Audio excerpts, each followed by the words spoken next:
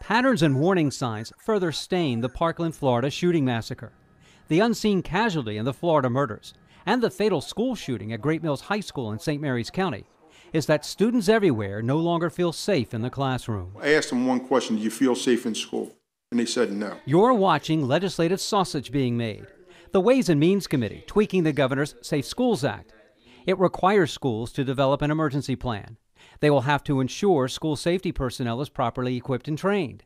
School systems must designate a state certified security administrator to oversee the plan. It requires creating a multidiscipline threat assessment team. It also mandates that schools either have resource officers or adequate law enforcement coverage.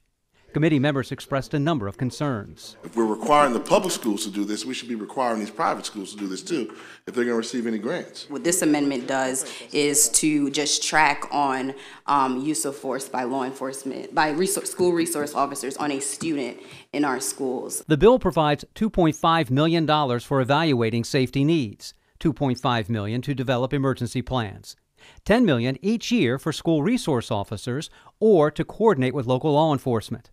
The bill provides $12 million for safety enhancements. Crash bash earlier today. Several committee members unsuccessfully tried to divert 20% of that 10 million in SRO funding for behavioral health programs. A safe school is not simply a school where there are police officers and where and where the school feels like a jail. We want it to feel like a community where people can learn. But they voted unanimously to send the measure to the House floor. I think it's great work product from everybody that's worked on it in both parties, both sides of the street. The bill is considered only the beginning.